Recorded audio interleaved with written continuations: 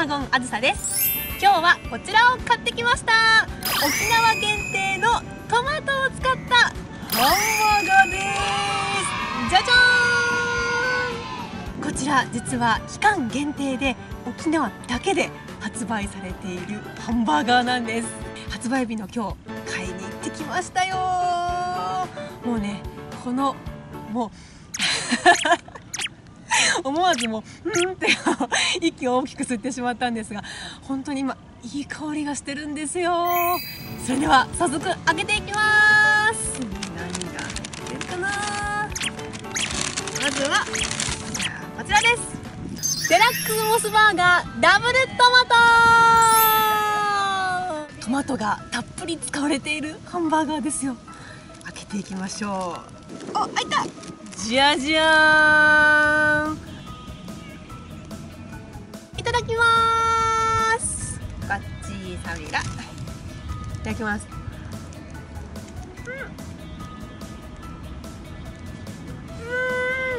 うん。うん。美味しいトマトに結構厚みがあってトマトをかじるとじゅわっとねトマトの甘みが口にいっぱい広がるん。ですよ美味しい続いてはこちらですデラックスモスチーズバーガーダブルトマトイエーイほどの紹介したハンバーガーにさらにチーズが加わっているというなんともね贅沢なハンバーガーです。では開けていきます。おーわー。笑みがこぼれる。デラックスモスチーズバーガーダブルトマトいただきます。カッチーサビラーいただきます。うん。うん。これはもう間違いない。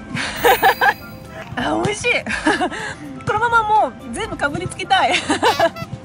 美味しい。最後はこちらです。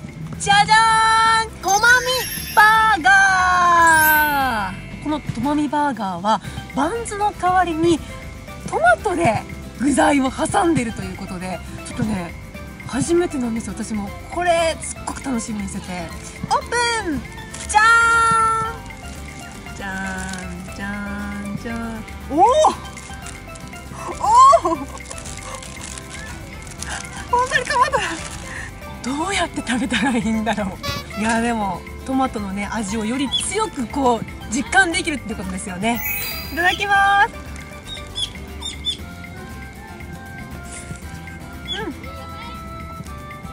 うん。うん。美味しい。美味しい。さっきのハンバーガーがトマト感例えばじゃあ50だったらここはもうトマト感100です。トマトの味がもうわーって広がります。これねトマト大好きな人はたまんないと思いますよ。いやー美味しかったもうトマト尽くしで。もう幸せ。超美味しかった美味しいハンバーガーたっぷり食べたのでこの後も仕事頑張ります。ご視聴一平二平でビタン。またやったい。